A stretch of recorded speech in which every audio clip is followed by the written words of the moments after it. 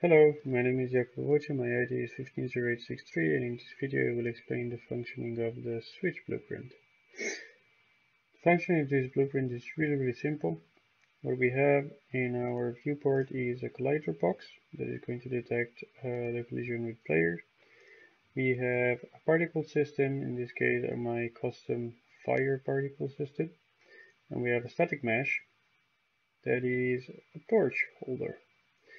So what we do in this uh, very simple blueprint is uh, just calling an event called onComponentBegin overlap that is going to check for collision uh, inside the trigger box.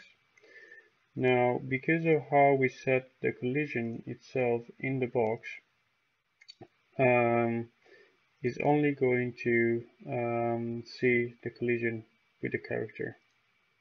As you can see, we use custom collision. You can check in here that only the pawn is checked. So only the character is going to activate the box.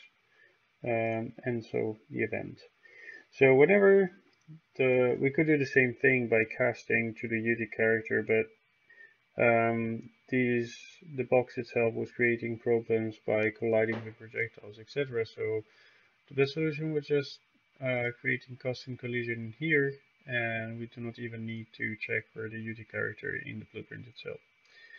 So going back to the blueprint, what we do is whenever the box um, detects a collision with the character, we set the visibility of our particle system, that is the fire, um, to new visibility, so basically to being true.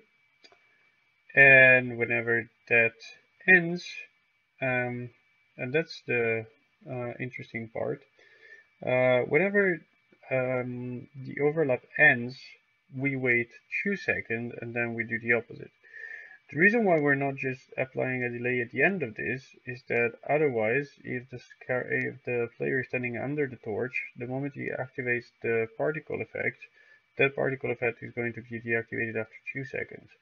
Instead, we want to wait until the collision is actually finished, so when the player is actually moved away from the torch, and then we wait two seconds and we set it to non-visible again.